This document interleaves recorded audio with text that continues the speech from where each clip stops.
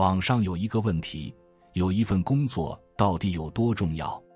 有一个回答让我印象深刻：工作不仅仅是赚取一份收入的途径，更是维系身心健康的重要支柱。我们常常将工作的意义简单的归结为一张薪水单，却忽视了它背后更深层次的价值。它让我们拥有规律的生活方式，拥有面对面交流的机会，以及与他人保持紧密联系的渠道。所谓的带薪养生。正是这种平衡工作与生活的最佳状态，在为生计努力的同时，也能够照顾好自己的身心健康。一养作息，不知从何时开始，养生对我们越发重要。各种补品成箱买，保温杯里也泡上了枸杞，再不敢过年轻时恣意放纵的生活。其实，养生的尽头。只需在工作中养成一个好作息。想养生，首先要找到正确的工作方式。网友田鱼刚毕业那会儿，每天都熬夜到凌晨，然后第二天睡到日上三竿。时间一长，他明显感到身体状态出了问题，不仅容易头晕，还常常吃不下饭、睡不着觉。自从上班以后，他就形成了很规律的生活习惯，早上六点多起床看书写作，八点多出门上班，下班后再去江边走走，看看日落和晚霞，回家后也会有自己的生活和学习规划，十点后准时进入梦乡，日复一日的规律生活让他养成了一副健康的体魄，过去容易生病的他。如今反倒无坚不摧，跟同龄人站在一起，他明显气色更好、更年轻。不少人认为工作太过辛苦，只有不上班、多休息才有益于健康。密歇根大学的研究小组通过分析长达二十七年的健康与退休研究数据，得出结论：那些拥有意义和目标感的人，往往寿命更长。俗话说：“压力即动力。”人在目标的驱使下，意志力会变得更强。表现在身心上，就是作息更规律，行动更高效。工作到九十岁的心理医生中村恒子说过：“最好的养生不是退休，而是好好工作。”宋美龄活到一百零六岁，也曾在日记中总结长寿之道：“工作是半个生命。”越忙越有精神，人要年轻要健康，就要积极参加工作。你看，对于那些热爱工作的人来说，劳作从不是负担，而是治愈一切的良药。从现在开始，规律你的作息，不透支身体，不消耗健康。当你真正忙碌起来，自然会实现带薪养作息，生命之树亦能长青不败。二养情绪，你什么时候最有危机感？有人说自己买房后，每个月要还四千的房贷，手头只剩一千多的生活费，每天都焦虑到失眠。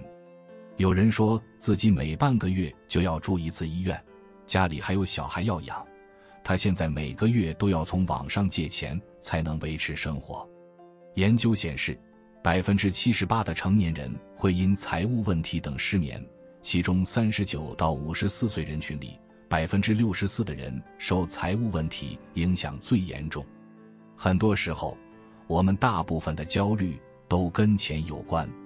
与其让自己的身心因为缺钱焦灼不已，不如通过上班来治愈。前一段时间重温电视剧《幸福两重奏》。顾小楠的经历让人感慨万分。顾小楠和董博宇结婚后，选择当一名家庭主妇。她每天辛苦打理家庭，却依旧得不到董博宇的理解与尊重。一旦顾小楠的行为不如他意，等来的就是一顿指责。在压抑情绪的笼罩下，原本开朗的她变得越发抑郁，就连生病做手术。她都不敢告诉丈夫，生怕遭对方嫌弃。因为没有收入，在这段婚姻里，她不得不处处低头。幡然醒悟后，她终于决定和董博宇离婚，捡起曾经放弃的舞蹈梦。后来，他开办了舞蹈培训机构。有了自己的事业后，他脸上的笑容越来越多，生活也过得有滋有味。电影《寄生虫》中的有一句台词：“钱就是熨斗，能把一切褶皱熨平了。”工作赚钱就是治愈痛苦的一剂良药。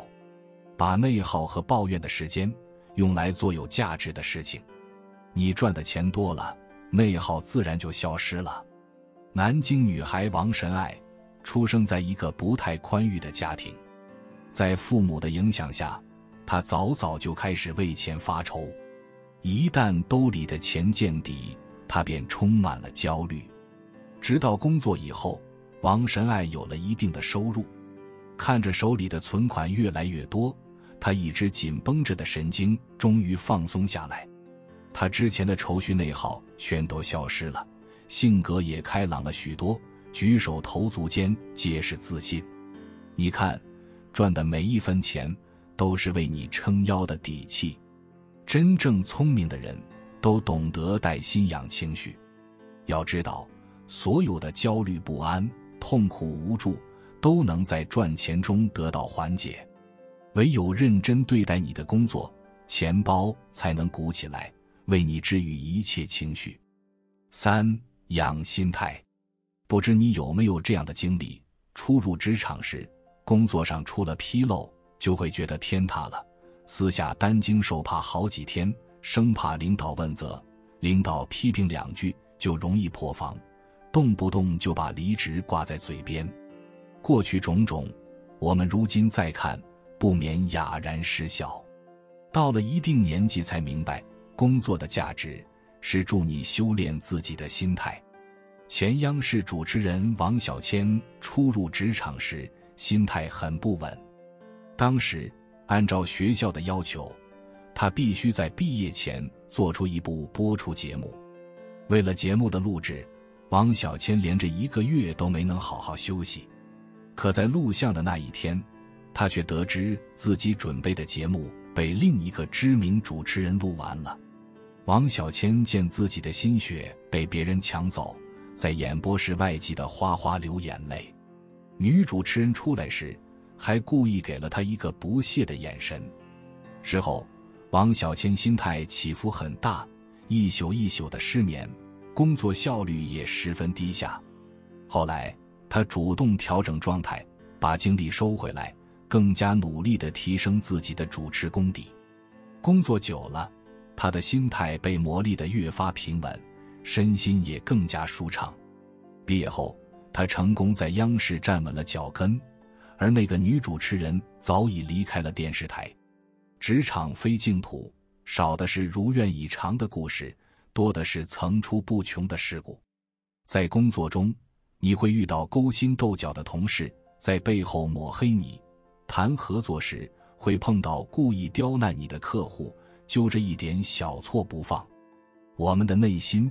也在这一次次的磨难中养得越发坚韧强大。周国平说：“人的身体是受心灵支配的，心态好是最好的养生。懂得利用工作的点点滴滴滋养你的身心，磨练你的意志，才是一个人最大的远见。”曾经有人向日本著名作家中村恒子请教，如何在繁忙的生活中保持健康与活力。他的回答出人意料又极为简单：做好眼前的工作。人生的下半场需要更多的平衡与智慧，而工作正是这个阶段中最好的养生方式之一。它赋予我们生活的节奏感，赋予我们思维的挑战与成长的机会，也让我们在日常生活中找到存在感和价值。因此，珍惜你的工作，投入其中。保持干劲与激情，就是对自己身心最好的滋养。好了，今天的分享就到这边。如果你也喜欢这个视频，不要吝啬你手边的点赞，你也不妨订阅、分享及在下方留言。我们在下个视频再见。